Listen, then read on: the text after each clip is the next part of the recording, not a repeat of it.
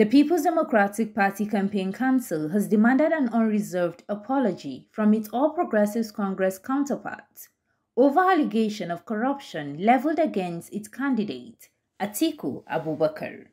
Addressing a press conference in Abuja, the spokesperson of the PDP campaign, Kola Ologbondiyan, said Tinubu, not Atiku, was the real special purpose vehicle because of his alleged involvement in looting Lagos Treasury while in office.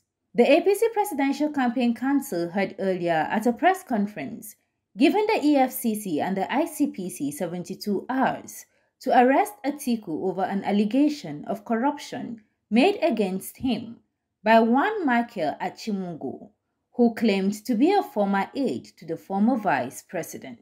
The entire world has seen that the real Mr. SPV, the corruption kingpin, the real artful dodger of Nigeria is Ahmed Bola Tinubu, the Milocon presidential candidate of the All Progressives Congress.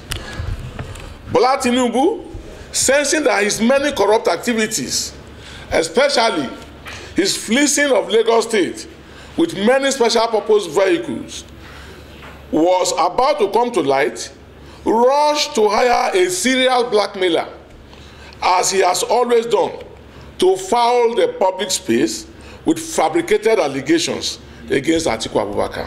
On allegation against Atiku, Ologbondiyan said it was a ploy to distract the party and prevent it from winning election. This is the case in the vexatious plots by Asiwaju Tinubu to divert attention from his litany of atrocities by seeking to impugn the impeccable character of our presidential candidate Atiku Abubakar with unfounded controversy of corruption. The council, however, urged the APC to tender an unreserved apology to Atiku Abubakar over the unsubstantiated allegation. CNN News.